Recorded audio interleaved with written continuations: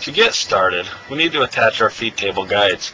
To do this, you will need a Phillips screwdriver and the supplied screws. Place the guides onto the side frame and insert the screws into the pre-drilled holes.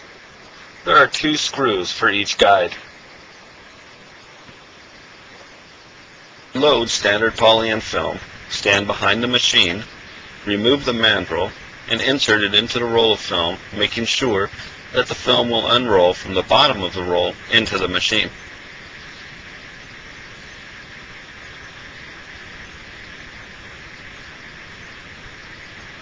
And replace the mandrel.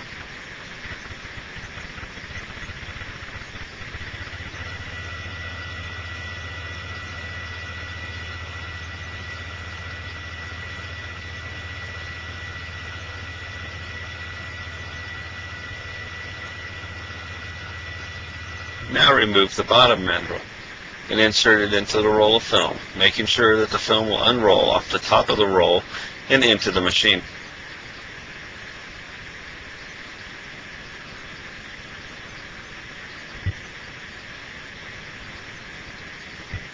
And replace the bottom mandrel.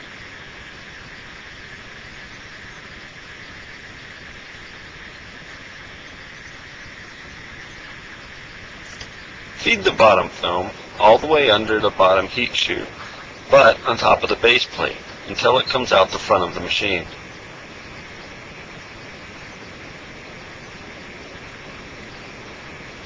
Then lower the rear runoff table.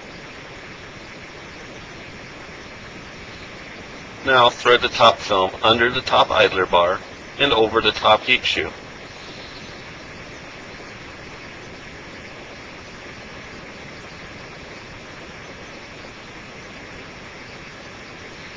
Raise the heat shield and lay the film as flat as possible across the heat shoe.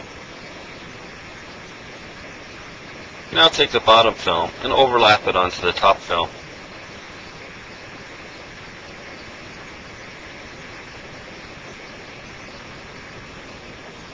The motor control switch is located on the right side plate.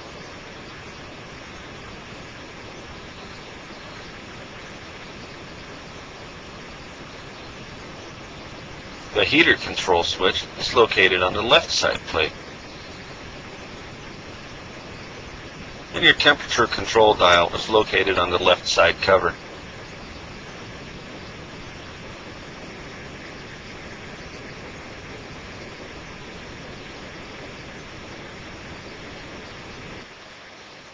Go ahead and adjust the temperature control knob to about halfway for a good starting point. Now turn the heat control switch on and allow the machine to warm up for approximately 30 minutes. Now turn on the motor switch. Gently insert the starter card into the rollers.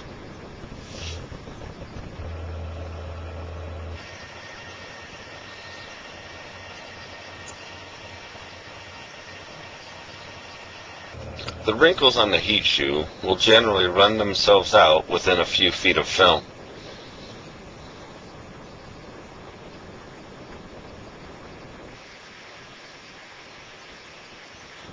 If the wrinkles persist, you may tighten the mandrel tension by rotating the tension nut on the mandrel. Once again, turn on your motor switch and begin feeding the product into the front rollers.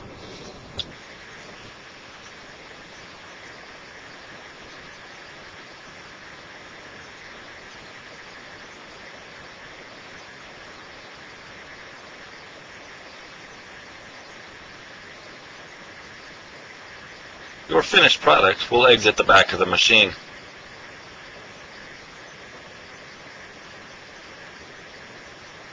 Now, stop the motor and proceed to slip the film and take it to your final trimming.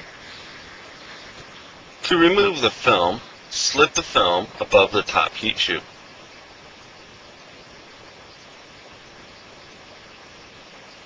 Now, lift the heat shield and remove the feed table.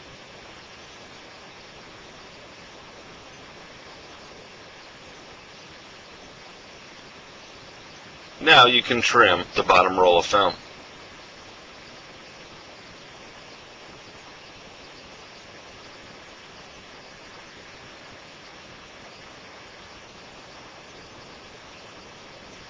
Carefully hold the motor control switch in reverse while pulling the film out of the front rollers.